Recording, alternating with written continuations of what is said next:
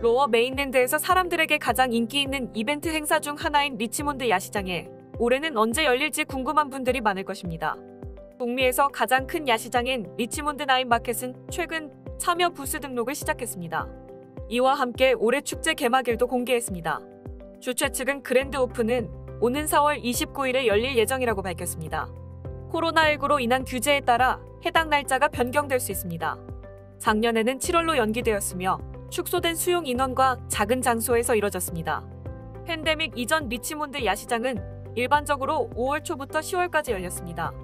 이 축제에는 일반적으로 50피트 규모의 엔터테인먼트 무대에서 다양한 야간 공연이 열리고 야시장 안에는 다양한 먹거리 및 볼거리, 즐길 거리가 준비되어 있어 음식과 쇼핑을 함께 즐길 수 있습니다.